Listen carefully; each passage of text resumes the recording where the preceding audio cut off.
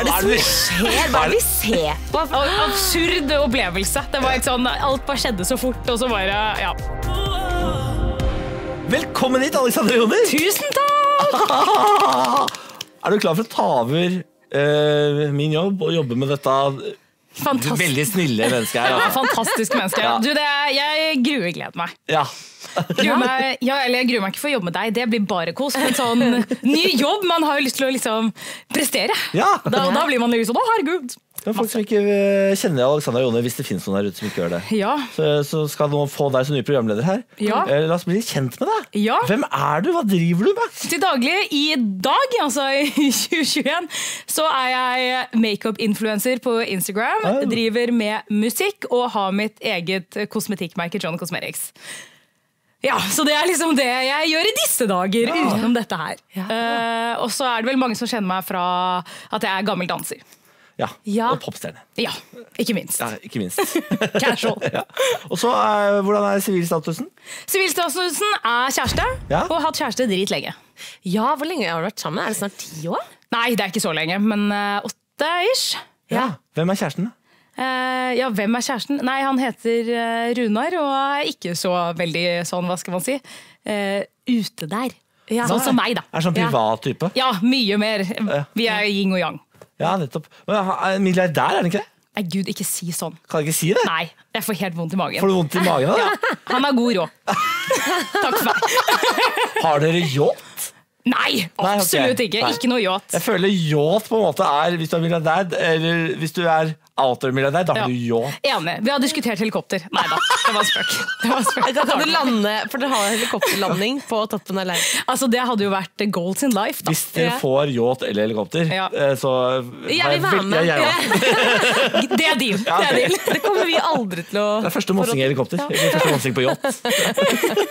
Første mossing i helikopter. Vi har funnet et ganske artig klipp. Eh, herregud. Jeg får, jeg får vondt i magen. Jeg ble fyllesyk. Akutt fyllesyk. Gjorde du det. Hva er du redd for at det uh, fins det så mange rare klipp av deg der ute? Ja, nei, jeg vet Det er ikke. ikke sextapen din, Åh. Takk og lov for det! så det, kan du, det trenger du ikke Ja, men da, på. da er jeg ikke fyllesyk allikevel. Men det involverer noe kroppslig kontakt. Ja. Hæ? Noe biting? Å, herregud. Ja, du kan, få øve, du kan få øve på den nye jobben din, for vi pleier å sette opp til klipp. ikke sant? Ja. Eh, vi skal okay. tilbake til 2008. Ja. Eh, vær så god, hva er det vi skal se? Hvor skal, skal jeg se Du på kan dere? se her. Der. Eh, vi skal da tilbake til 2008, det ble helt nyhetsanker her. Eh, hvor vi skal se at jeg ble bitt av en gammel eh, dame. altså, for et absurd klipp. Hvor er du? Ja, det er jeg som filmer. Ah, ja. Og der kommer hun. Ja. De filme, habla español, come mierda. No sabes ni lo que estás haciendo. I basketaket ble Alexandra angivelig bitt i hånden av diplomaten. Jeg trodde at diplomater skulle være diplomatiske. Hva er det som skjer? Hva er det vi ser på? For det er det en uh, demonstrasjon. Gud meg. Ja, det var uh, en demonstrasjon som endte opp i at jeg da ble bitt av den cubanske konsul. Ja. Eh, ja. Så, du bitt? Hvor ja, da?